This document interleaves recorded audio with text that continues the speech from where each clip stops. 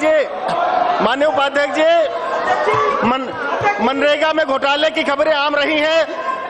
अक्सर बिना कार्य कराए रकम निकाल लिए जाने की खबरें समाचार पत्रों में छपती रही हैं। मैं आज आपके माध्यम से भारत सरकार का ध्यान अपने संसदीय निर्वाचन क्षेत्र श्रावस्ती के जनपद बलरामपुर की ग्राम पंचायत चौकिया विकासखंड गैसड़ी में ग्राम प्रधान और सचिव की मिलीभगत से बिना कार्य कराए मनरेगा ग्राम निधि खाते से एक लाख अस्सी हज़ार रूपए आहरित कर लिए जाने की ओर आकर्षित कर रहा हूँ। ये घटना तीन वर्ष पुरानी यूपीए सरकार के कार्यकाल की है।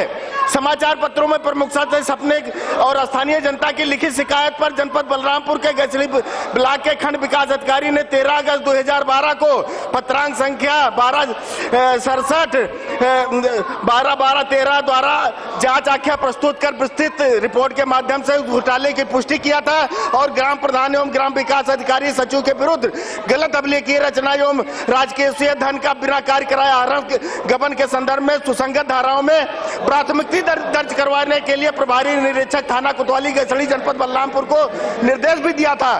खेद है कि शासन की लापरवाही से मामला लंबित है। बिना कार्य कर, करवाए सरकारी धन की हड़पने की पुष्टि होने के कई वर्षों बाद तक स्थानीय प्रशासन द्वारा दोषियों के खिलाफ दंडात्मक कार्रवाई लंबित होने से जनता हतोत्साहित है और भ्रष्टाचार करने वालों का मनोबल दिनों दिन बढ़ता जा रहा है। यह गंभीर मामला है। केंद्र सरकार के धन का हड़पने वालों पर राज्य सरकार द्वारा कार्रवाई में इतनी देर से हम सब हम लोगों को चिंतित होना लाजमी है।